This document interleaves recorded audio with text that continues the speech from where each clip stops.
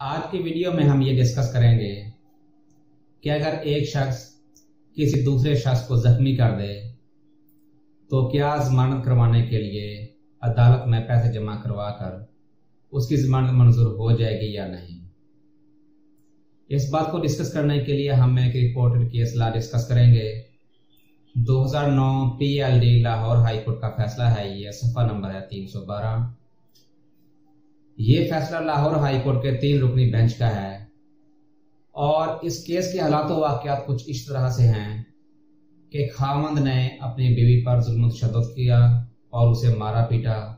वो खातून जख्मी हो गई, उसका मेडिकल हुआ और मेडिकल में जरबात तीन सौ सैंतीस ए वन, तीन सौ सैंतीस ए थ्री, तीन सौ सैंतीस एफ़ वन आई और सेक्शन चौंतीस भी लगा पीपीसी का और उस मुलजम पर एफ़ आई आर हो गई।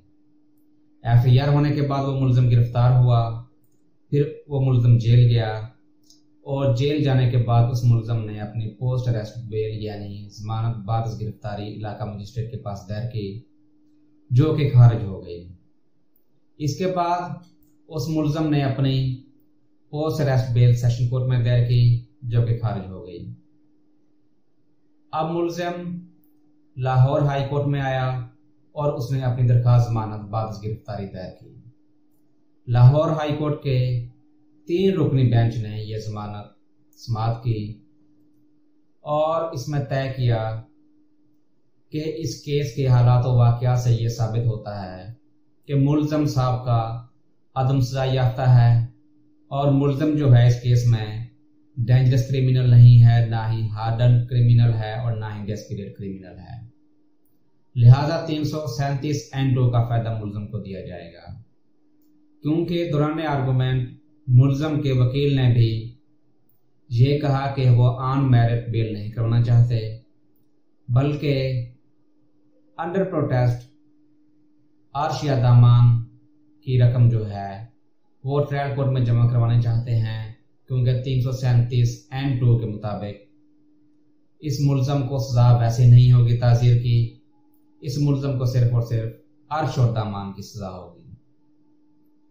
तो ऑनरेबल लाहौर हाई कोर्ट के तीन रुकनी बेंच ने इसमें तय किया कि इस केस में मुलजम जो है, सबका आदम सजा याफ्ता है और डेंजरस क्रिमिनल भी नहीं है, ना ही हार्डन एंड डेस्पिरेट क्रिमिनल है। लिहाजा बतौर अर्श दामान ट्रायल कोर्ट ये तय करे कि इस मुलजम पर कितने कितना जुर्माना बनता है और वो उतनी रकम जो है ट्रायल कोर्ट में जमा करवाए। उस मुलजम की जमानत मंजूर की गई और पचास हज़ार का गोशवारा उसे तलब किया गया और लाहौर हाई कोर्ट के तीन रुकनी बेंच ने यह हुक्म भी दिया कि इस फैसला की कापी सुबह पंजाब के तमाम मजिस्ट्रेट साहबान और सेशन जज साहबान को भेजी जाए और इसके ऊपर अमल दरामद किया जाए। यानी अगर कोई भी हार्ड केस हो और मुलजम अदम रिकॉर्ड याफ्ता, अदम सजा याफ्ता हो और मुलजम डेंजरस क्रिमिनल ना हो डेंजरस क्रिमिनल ना हो हार्डन ना हो डेस्परेट ना हो तो उस मुलजम को जमानत दी जा सकती है अगर वो मुलजम अर्श और दामान की रकम जो ट्रायल कोर्ट तय करे वो अदालत में जमा करवा दे।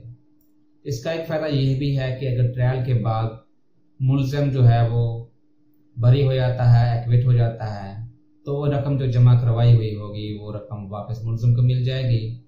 अगर मुलजम को सजा होती है तो ऐसी सूरत में क्योंकि ऑलरेडी वो रकम पहले जमा करवा चुका होगा तो वो फिर भी उसको अदालत जेल नहीं भेजेगी ताजीर की सजा नहीं देगी।